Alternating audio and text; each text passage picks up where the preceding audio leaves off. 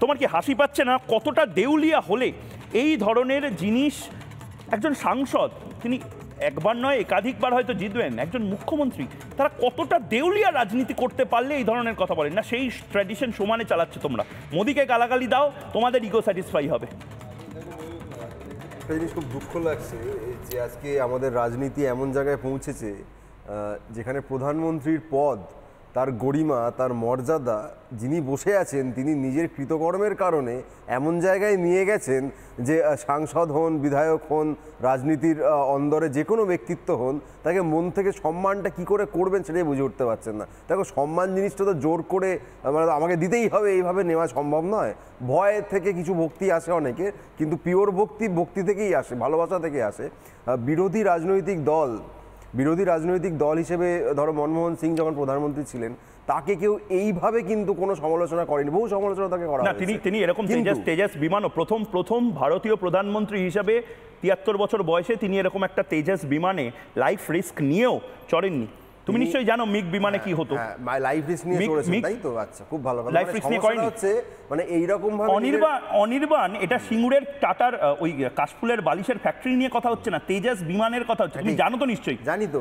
মানে একজন মানুষের জন্য মানে 100টা নবান্ন কনকাঞ্জন এই ইত্যাদি ইত্যাদি নিয়ে কথা বলতে গিয়ে ইপাং উপাং ঝপাং নিয়ে কথা বলতে গিয়ে তোমরা তেজাস নিয়ে বেসিক ফান্ডাটা যদি ভুলে যাও সমস্যা। না দেখো ভুলে গেলে যেটা হয় সেটা হচ্ছে মেঘের আড়ালে যখন বিমান যায় রেডারে ধরা পড়ে না উনিশশো সত্তর দশকে ইমেল পাওয়া যায় সব হয় আর কি। ভুলে টুলে কিছু যায়নি। কিন্তু তুমি নিন্দা করছ না। শান্তনু সেন যে কথাটা বললেন তাতে তুমি নিন্দা করছ না। না নিন্দা প্রশংসার বিষয় নয়। দেখো একটা যে কোনো একটা বিষয় তো থাকবেই। একটা মানুষ নিজের মার্কেটিং করতে করতে এমন জায়গায় পৌঁছেছেন যে উনি একলা গেলে সেখানে দশজন ফটোগ্রাফার রাখতে হয়। এই গোটাটা তো একটা মার্কেটিং প্লয় এবার প্রধানমন্ত্রী চেয়ারে বসেছেন। উনি যদি বিজেপির একজন নেতা হিসেবে করতেন বিশেষ কিছু বলার ছিল না। দেশের প্রধানমন্ত্রী হিসেবে তিনি যা সব কাণ্ড কারখানা করছেন তার প্রতি সম্মানটা কারও আসবে কোথা থেকে এটুকু আমাকে বুঝিয়ে দাও? যদি সম্মানটা তুমি বলে যে না জোর করে কেড়ে নিতে হবে পেয়াদা পাঠাতে হবে শান্তি পাঠাতে হবে সৈন্য পাঠিয়ে আমি সম্মান নিয়ে আসব, আলাদা কথা। কিন্তু যদি বলো মন থেকে সম্মান, যতই বিরোধী দল হোক এরকম একাধিক প্রধানমন্ত্রী আমরা দেখেছি একাধিক বিভিন্ন রাজনৈতিক ব্যক্তিত্ব এরকম একাধিক প্রধানমন্ত্রী দেখেছ তোমরা? হ্যাঁ, দেখেছি যাদেরকে মানুষ তোমাদের তোমাদের মধ্যে করতো। কমপ্লেক্স আছে বলে তোমার মনে হয় না? যে তোমাদের একটা অদ্ভুত সাইকোলজিক্যাল প্রবলেম চলে আসছে যে মোদি কোনোভাবেই মোদিকে ডিফেন্ড করা যাচ্ছে না। মোদিকে তোমরা হারাতে পারছ না ইলেকটোরালি তোমরা হারাতে পারছ না। নরেন্দ্র মোদীর ব্র্যান্ড সেই ব্র্যান্ডকে তোমরা ডেন্ট করতে পারছ না। নরেন্দ্র মোদীর ধারে কাছে আসতে পারছ না বলে এবার সবচেয়ে ভালো। Offence is the best defence গালাগালি করো। গালাগালি করো প্রধানমন্ত্রীকে গালাগালি করলে তোমাদের নম্বর বাড়বে। তোমরা হয়তো একটু ক্যামেরার সামনে আসতে পারবে।